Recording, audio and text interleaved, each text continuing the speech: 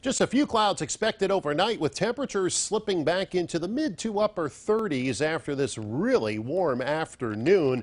Now heading into tomorrow, I want to take it to the south and then we'll move back into our region because a big severe weather outbreak underway here as a storm system works its way across the southern part of the United States. Now that is going to impact a big part of Mississippi, Alabama, and eastern Arkansas, about 500 miles away from us. I point this out because this is the same storm system that'll bring us rain as we go into tomorrow night and Thursday. In fact, I'll show you a future tracker here picking it up tomorrow evening. Those big storms uh, staying off to our south. The system will actually slide by just to our south. But what that does, it puts us in the heavy rain shield out of this storm system as we go through the day Thursday, and it'll add up by the time we get into Thursday night. Uh, tonight we stay dry though, just some clouds around, temperatures slipping into the mid to upper 30s. Tomorrow will be a dry day as well. We'll see some sunshine around, filtered by clouds at times,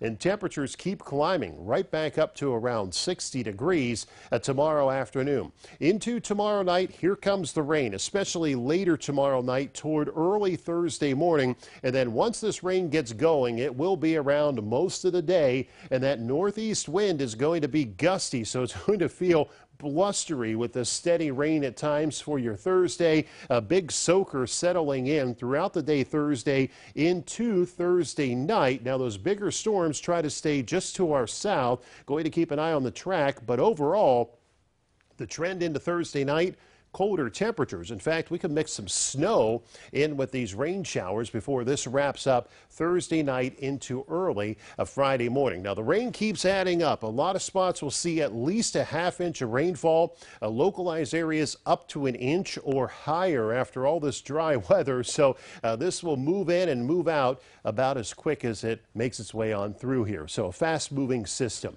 A 60 tomorrow. That's your high temperature for your St. Patrick's Day. Overall, pretty good good looking day. Just some clouds around. Rain moves in tomorrow night and Thursday with a gusty wind, wrapping up with the chance of some wet snow mixing in Thursday night. Temperatures do drop back into the mid 20s to start your Friday morning.